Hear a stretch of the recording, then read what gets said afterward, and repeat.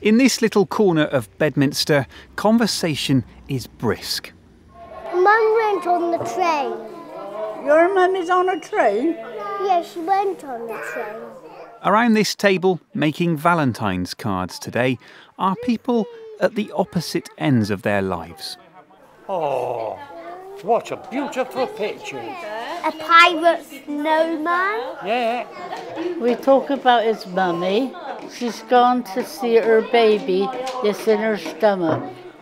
Later on, my mummy's belly will pop and the, and the baby will come out. Even though Harvey is off to school in September, he wants to come back to visit Brenda. He's even arranged for his parents to meet her too. For now, though, these new friends get together every two weeks. We go round the mulberry bush, the mulberry, that's right, the mulberry bush. Here we go round the mulberry bush on a cold and frosty morning.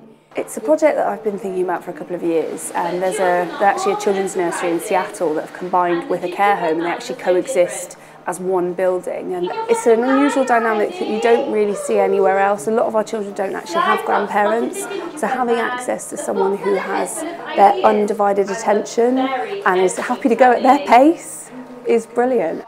It's you. I made your face.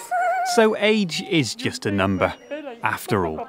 Andy Howard, BBC Points West, in Bristol.